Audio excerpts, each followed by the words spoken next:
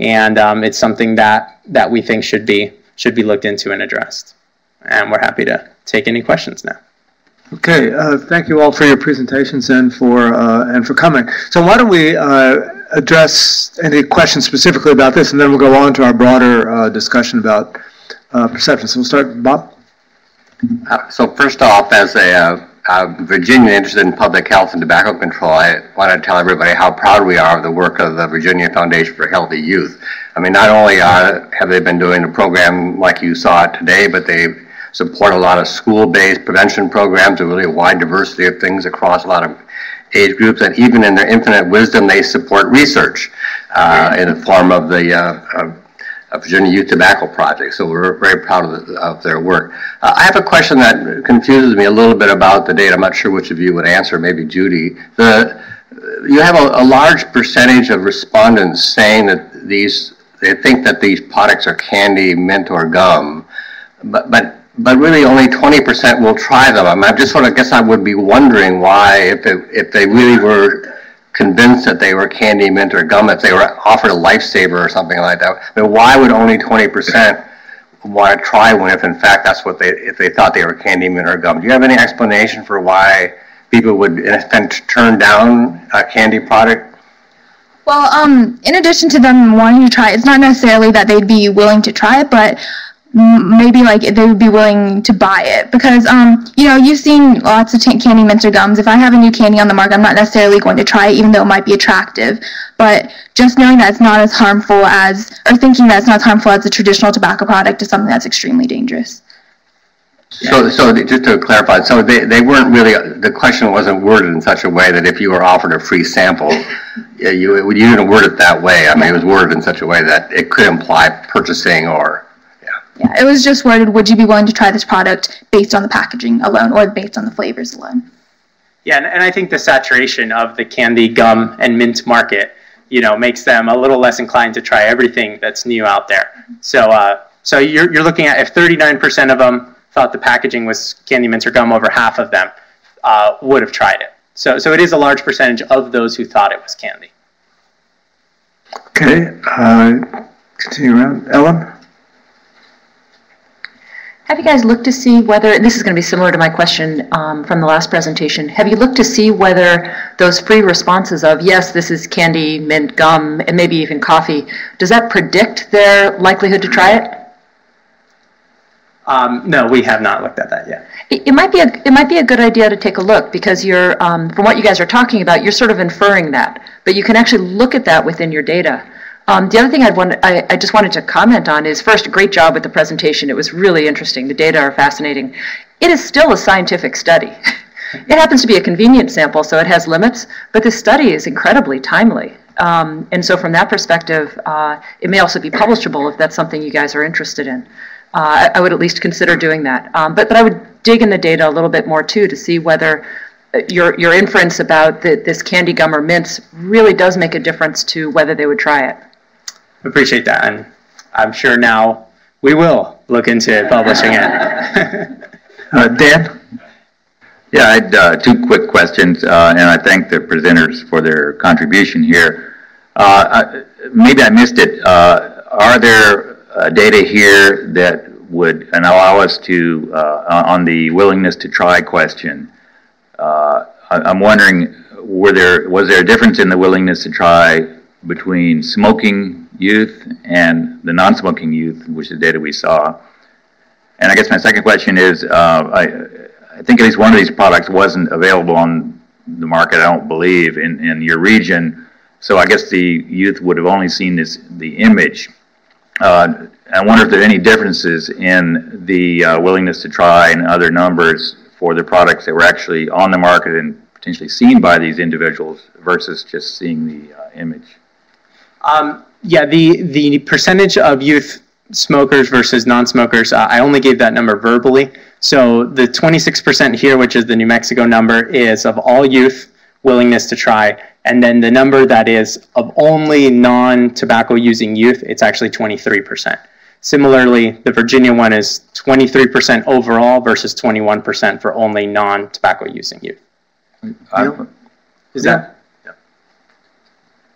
Uh, It was Oh, and then uh, for your second question, um, we, did we see a difference between Stonewall and, and the, the Camel products?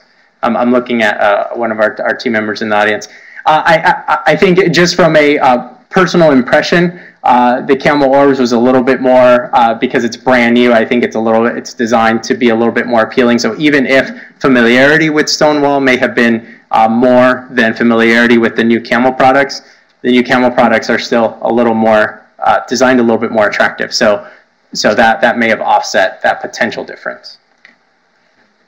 If I could do a quick follow-up. So the, the percentage of uh, non-smokers we, we see, and then the total youth, is the difference between those numbers, the number of smokers, so it was, it was only a few percent of smokers, like 3% uh, in general, is that, is that correct? Yeah, uh, do you know what percentage? Uh, Maybe perhaps if you want to come to the microphone, please. join us. This this is Mile, also from Rescues, helping us. Okay, and just uh, identify yourself. Thanks. Hi, my name is Maya Jakaria from Rescue Social Change Group. I help with the Meltdown campaign. Um, so to, to address your question, the number of teens who said they would try Camel overall and the number of teens who currently do not use tobacco products, um, it, it's from a different sample size. So for the teens who currently do not use tobacco products, it was a smaller sample size than the overall, um, than the overall um, under 18 sample. Do, do we have the percentage of current tobacco users who would try? No, we didn't look at that, Okay, but we can. but we will. Shoot you an email. Okay, um, Neil? Um, a couple of things I just didn't, didn't fully understand. Forty percent thought it was candy, mints, or gum. Did the other sixty percent, percent think it was tobacco?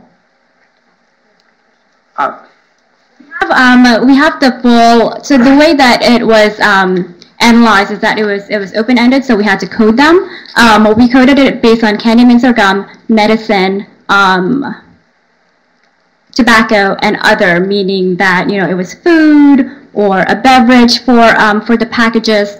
Um, for the flavors, how we coded it was, um, based on, uh, if they believed it was alcoholic beverage, a non-alcoholic beverage, candy, mints, or gum, um, food, medicine, other, and tobacco.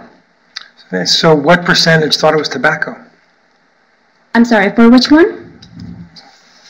For um, these products, what percentage of, of the respondents thought that this was tobacco? It's, it's different for each. wh- What would you say is the, the range that, that we had? Um, I'm not, I'm not sure off the top of my head. I'd have to look at the numbers, but I would say anywhere between, you know, 20 to 30. Okay. So, so we still had, be- besides this 39%, we still had a large chunk that thought it was something else.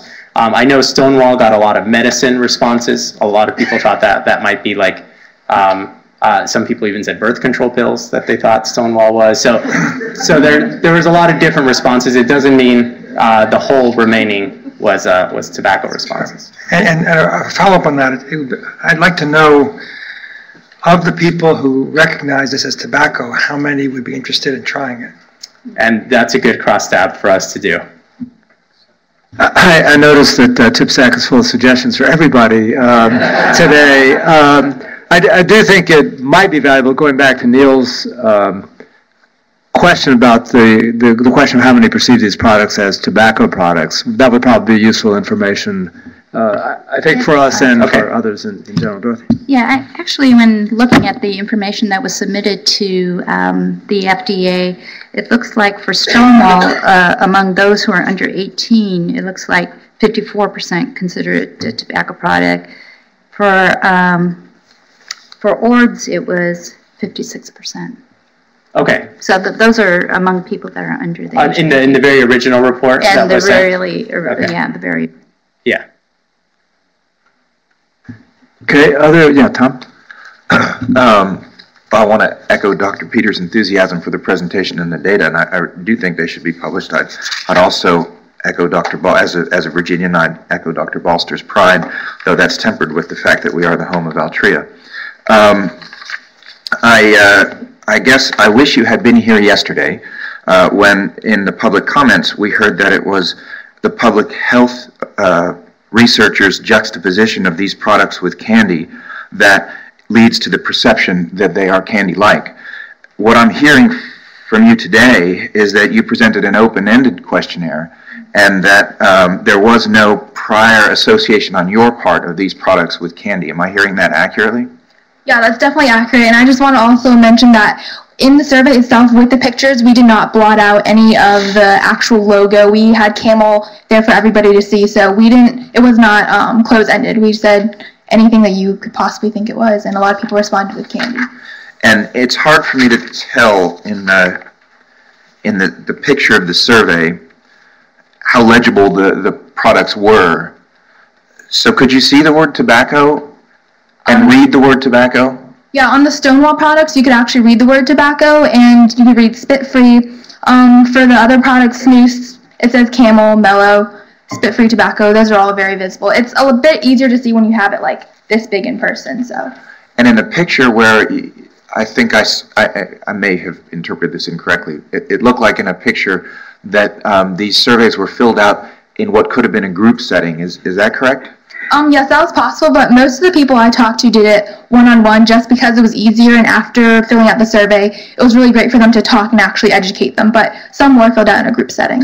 So in that education, and I'm, I'm not asking this in a critical way, I'm asking it because I can see what uh, some of the, how, how it could be criticized. Um, is it possible that folks you educated uh, uh, spoke with folks who then filled out the survey?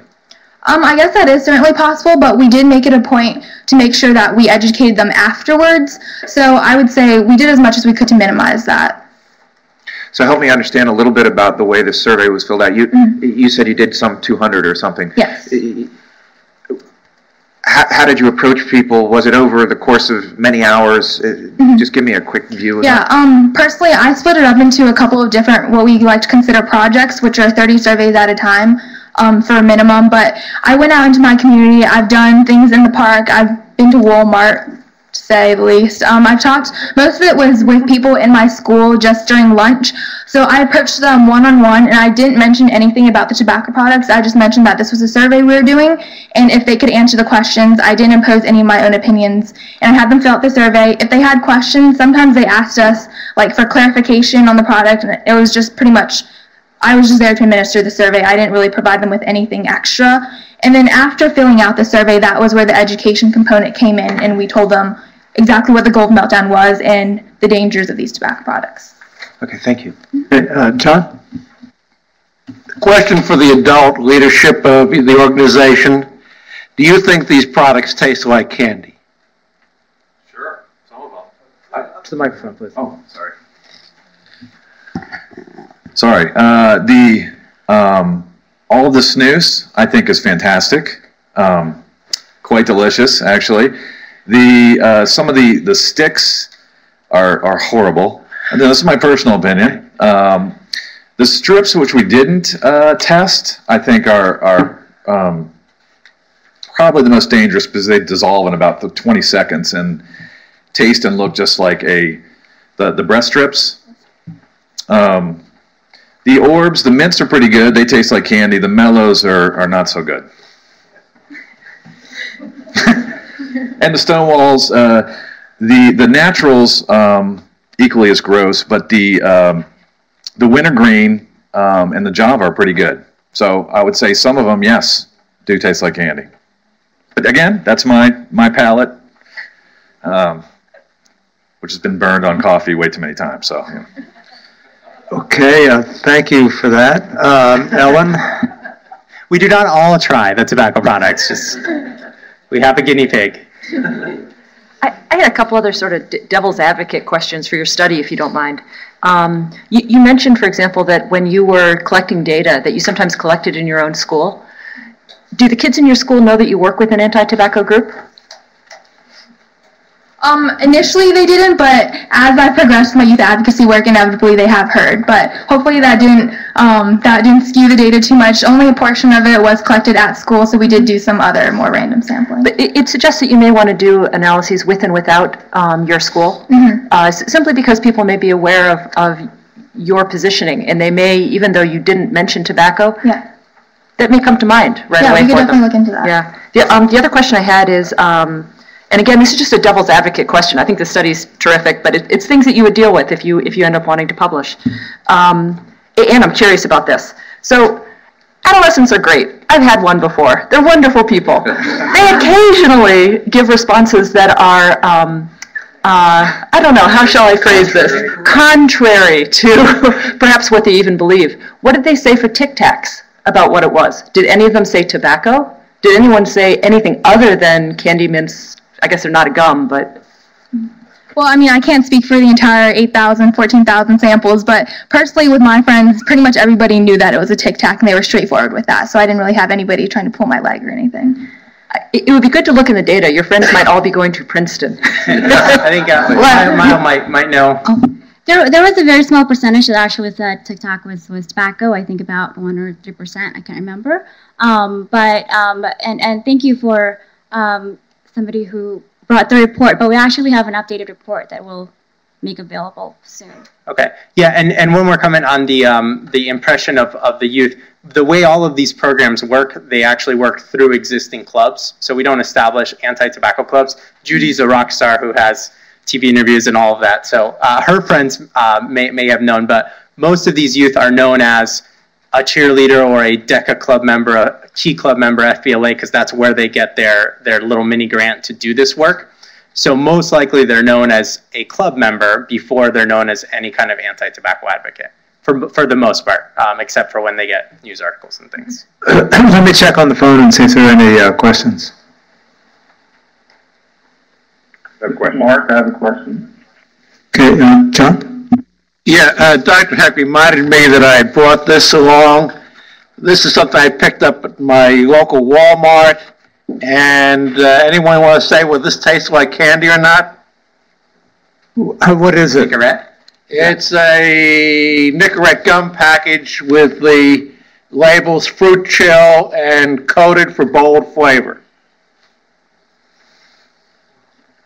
I don't know what it tastes like, but it sure doesn't look like candy from here. It looks like Jamaica chiclet. And I assure you, this product tastes better than any of the products you listed up there as tobacco products. Now, I've, now I've tasted all of the ones you have up there, both old and new versions. This tastes far, far better. Uh, Thank you, John. Uh, um, Hello, John. Okay, other, uh, is that comment from the phone? Is that a voice? This is a voice. This is Mark Clanton. Go Can you ahead, hear me? Yeah, we can. Go ahead. Okay. My question, uh, again, first the compliments to the study uh, and the data on the candy mints or gum, but I'm particularly drawn to uh, the respondents who looked at this as medication or medicine.